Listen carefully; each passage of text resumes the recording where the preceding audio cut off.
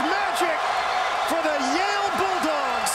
What a game! Baylor is going home. Yale University's upset over Baylor was stunning. This is Yale's first NCAA tournament appearance since 1962.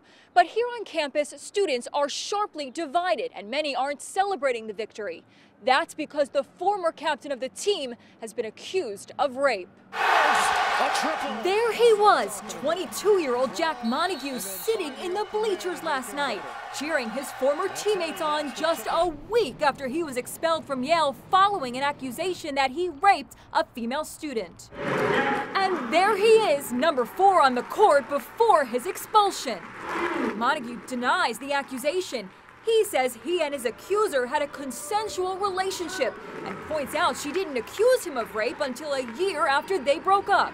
His teammates continue to support him, wearing his number four with his nickname Gucci. Outraged students hung signs around campus reading, End rape culture and don't support rapists. I am not commenting on any of this. I think we should just focus on the team winning last night. No comment. Many students we ran into on campus don't want to talk about the controversy. I caught up with the Yale crew team. How is the school coping with what's going on with Montague?